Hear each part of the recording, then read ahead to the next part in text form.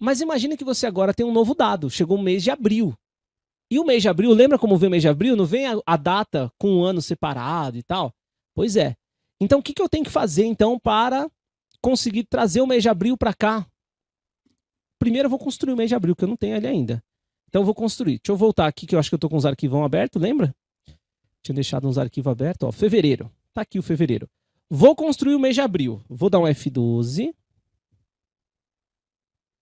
Vou clicar e vou dar o nome abril.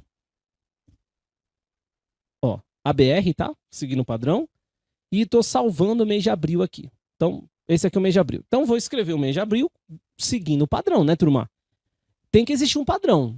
A, a, as planilhas são iguais, tem as mesmas colunas, porque eu estou tratando dos mesmos dados, simplesmente está vindo novas colunas. Mas, Daniel, e se tivesse uma nova coluna? Você tem como. O, o ele vai entender que uma nova coluna ele vai jogar num banco de dados. E a gente fala sobre isso no curso, óbvio. Daniel, e se eu não quisesse importar uma coluna? Você tira ela.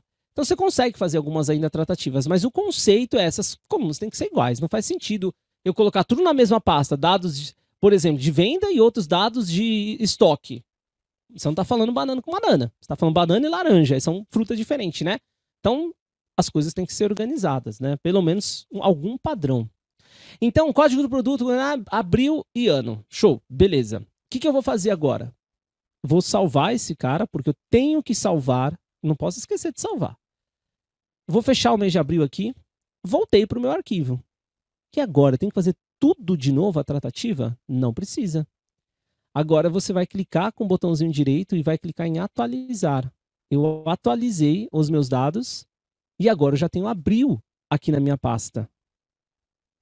Isso muda tudo. Isso muda da água para o vinho o seu trabalho.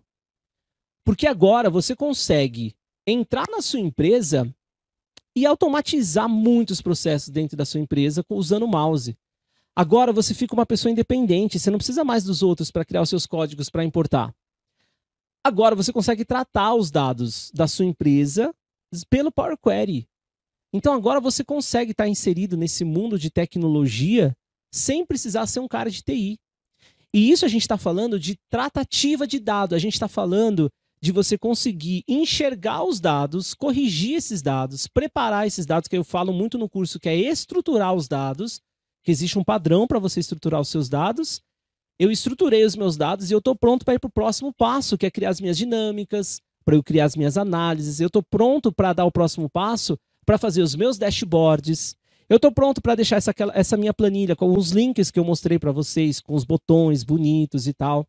Então significa que você passa a entrar no mundo de tecnologia, mesmo que você não faz parte de tecnologia.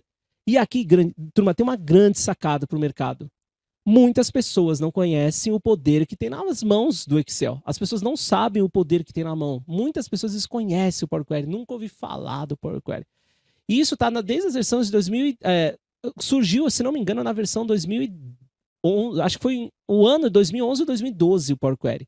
Nós estamos falando de quase 10 anos que essa ferramenta existe e sendo atualizada aí dentro do, do Excel, com novos recursos sendo aprimorados dentro do Excel.